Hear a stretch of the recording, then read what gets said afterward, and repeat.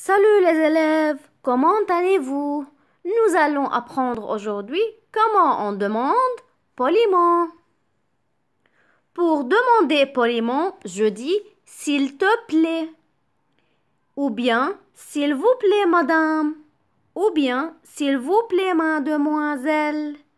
Ou bien s'il vous plaît, monsieur. Alors, si je parle avec mon ami, je lui dis s'il te plaît. Si je parle avec un grand, je dis S'il vous plaît, madame.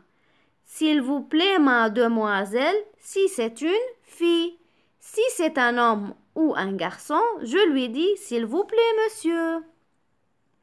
Pour remercier, c'est-à-dire on dit merci. Merci beaucoup. Tu es gentil. Tu es gentille. Alors, pour un garçon, on dit tu es gentil. Pour une fille, on dit tu es gentille. C'était notre leçon pour aujourd'hui.